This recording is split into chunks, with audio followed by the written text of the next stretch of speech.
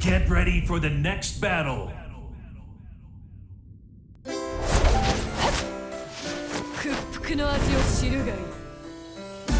Round one.